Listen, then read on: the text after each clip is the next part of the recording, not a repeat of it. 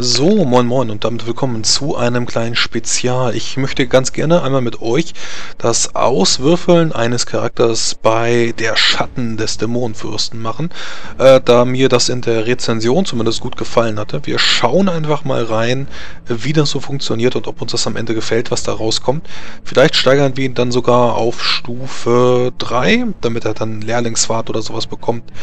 Einfach mal reingucken. Wir fangen erstmal mit einem Charakter der Stufe 0 an. So, ich würde mich ganz gerne für einen Menschen entscheiden, denn unter einem Menschen können wir uns sicherlich was vorstellen.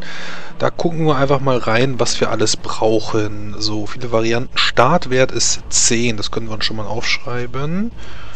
Gewandtheit ist 10, Intelligenz ist also alles auf 10, das ist Durchschnitt, entscheide ich für ein Attribut und der Höhe ist um 1. Ja, dann mache ich das als erstes. Ich weiß wie gesagt noch nicht, was es wird. Ich werde einfach mal die Willenskraft von 10 auf 11 anheben. Das ist das erste, was ich mache.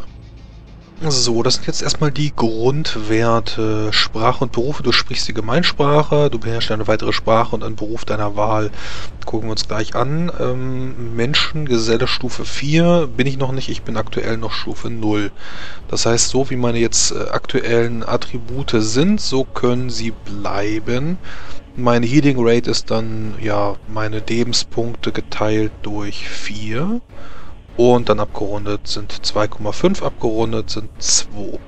Gut, jetzt wollen wir einfach mal den Hintergrund für einen Menschen auswürfeln. Dazu nehme ich mir einen W20. Und das ist die 13. Du bist viel gereist, du sprichst eine zusätzliche Sprache. Ja, nehmen wir, sehr schön. Äh, Sprachen müssen wir uns später nochmal aussuchen, was ich da dann nehme. Äh, vielleicht Orkisch oder sowas. Persönlichkeit 3 wie 6, die schmeiße ich hier einfach mal rein. Die 7, du kümmerst dich immer zuerst um dich selbst und du bist durchaus imstande, deine Freunde zu hintergehen. Oh, okay. Interessant. Religion 3 wie 6, auch das schauen wir uns nochmal an. 3 wie 6 genommen. 14 Du gehörst zu der Kirche des neuen Gottes. Hm, na gut. Der neue Gott hatten wir uns hinten in der Rezension schon mal durchgelesen, dass der so ein bisschen in Konflikt mit den anderen steht. Äh, dazu dann später mehr Alter. 3 wie 6, auch das machen wir. 15. Äh, du bist ein Erwachsener mittleren Alters zwischen 36 und 55. Ich würde einfach mal sagen, ich nehme mir nochmal ein W20, um das genauer zu bestimmen. Also das muss ich jetzt nicht machen. 19, alles klar. Dann werde ich mich mal auf die 54 setzen. Beziehungsweise wir können sogar dann die 55 nehmen. Ja, also mit einem W20 einfach ziemlich hoch und dann äh, können wir da einfach eine sehr hohe Zahl draus machen und wir nehmen das obere Ende, das heißt wir sind 55. Ich weiß jetzt natürlich, dass das mein Hintergrund ist, aber noch nicht, was mein Beruf ist.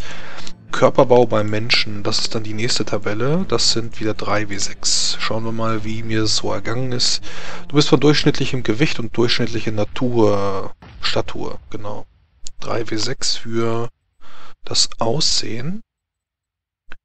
Auch das ist eine 10. Du bist von absolut durchschnittlichem Aussehen. Ja, danke für das Gespräch. Gut, dann die Goblins, das müssen wir uns alles nicht mehr angucken. Wir brauchen jetzt einen Beruf. Gut, dann fangen wir an mit dem Startberuf. Du beginnst das Spiel mit zwei Berufen, du kannst dir aussuchen oder die Würfel entscheiden lassen. Kommen die Würfel zu Einsatz, nutze die Tabelle Berufsarten weiter unter und folgen den Anweisungen. Ja, das ist das erste, was wir machen. Ein W6, das ist die 6, dann gehen wir auf die nächste Seite. Wildnis, du lebst jenseits der Grenzen der Zivilisation. Würfle ein W20, um deinen Beruf auf der Tabelle Wildnis zu bestimmen.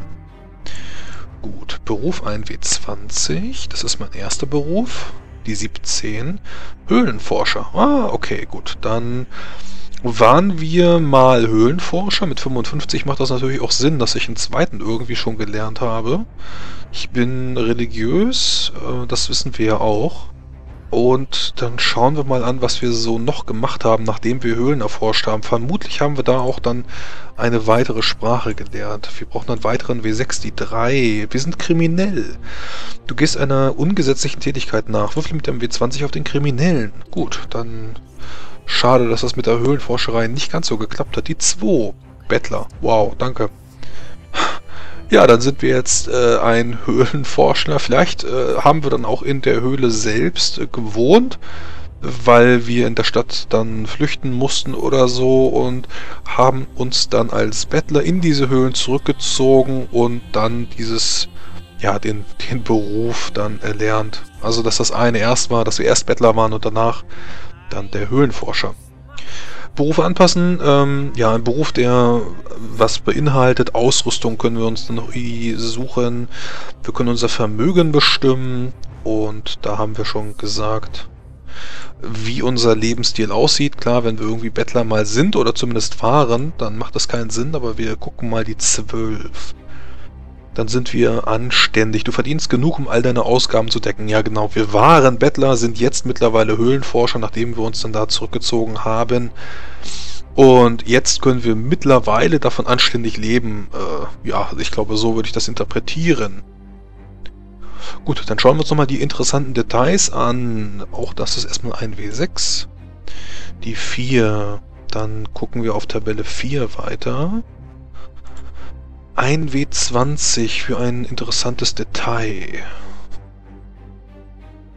Ihr seht also, man kann sehr schnell durch die Tabellen fliegen. Eine Medaillon mit dem Porträt einer hässlichen Frau. Okay. Ja, das ist jetzt das, was ich bei mir habe. Vielleicht, also das werde ich nicht in der Höhle gefunden haben. Das ist, glaube ich, nicht sehr klug, dass ich sowas in der Höhle finde. Da findet man dann eher, ja, nicht Medaillons, sondern Höhlenbildnisse. Das werde ich sicherlich irgendwie beim Betteln mal bekommen haben. Das hat mir irgendjemand gegeben. Und seitdem trage ich es mit. Ich habe das irgendwie beim Hehler dann nicht umgesetzt, sondern trage es seitdem da dabei. Und vielleicht wird das noch irgendwas mit den kommenden Abenteuern zu tun haben. Vielleicht finde ich sie ja noch oder finde dann eben auch noch die, die zugehörige Dame. Ja, schauen wir einfach mal. Das war, wenn ich das jetzt richtig gesehen habe, Genau, ich könnte jetzt hier noch ein paar Persönlichkeitsmerkmale aussuchen. Mache ich auch nochmal äh, mit einem W20. 13. Wir sind ehrlich, beziehungsweise egozentrisch.